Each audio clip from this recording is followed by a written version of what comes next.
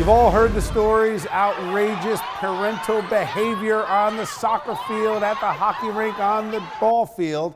But now, what you may not know is the refs are starting to push back.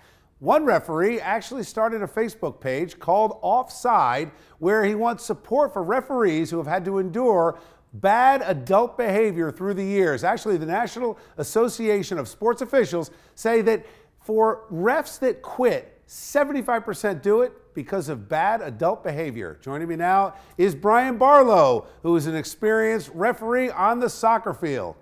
Brian, welcome to Chasing News. How are you? Man, I'm super good. You know, now that I don't have any parents around me, I'm, I'm safe, I'm sound, I'm in a good spot. So let's let's do this thing. I've never heard this show called the safe space, but we'll we'll take that. All right. okay, fair enough. Is it really that bad? Absolutely is that bad. It's, it's actually deplorable is what it is. Listen, referees, we can handle, you know, the, the come on ref, what are you looking at, ref? Ref, get in the game. Ref, you're you're missing a good game. Listen, we've heard all those comments. We get it. You're not excited about uh, referees in general. I understand that. But it's the, it's it's the times when we go across the line and we start we start becoming um, vulgar and we start using cuss words and and the kids are listening and hearing and absorbing and so it takes the purity and the innocence away from the game and it's it's enacting your personality, your vulgarities, your insecurities, and now that's becoming a part of the game. All right, Brian, I want to bring in a couple of parents. So you're hearing what Brian is saying. Uh, Jeanette, you were shaking your head. Uh, do the refs need to uh, toughen up, or do the parents no. need to calm down? Does this help or hurt?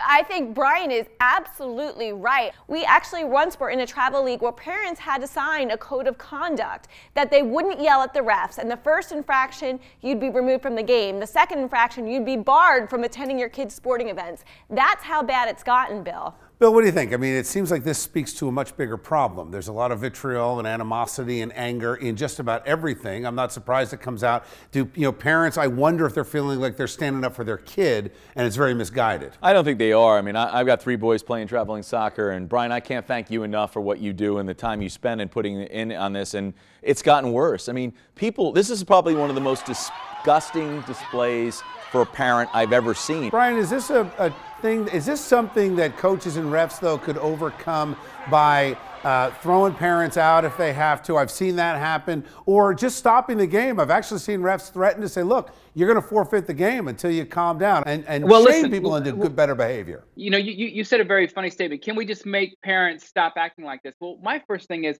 can we just make adults be adults? I mean, it's absolutely a cancerous epidemic at youth sports. It has to stop. Stop losing your mind. Have some integrity. Teach your kid that when they get knocked down, you got to get back up. When you get hit, you got to hit back. And stop whining and sounding so entitled. Thank you, Brian. Just quick, last thing to wrap up. What do you What do you do? What do you want parents to do when you guys do blow a call?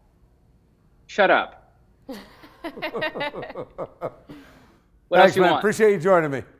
Thank you, guys. All right.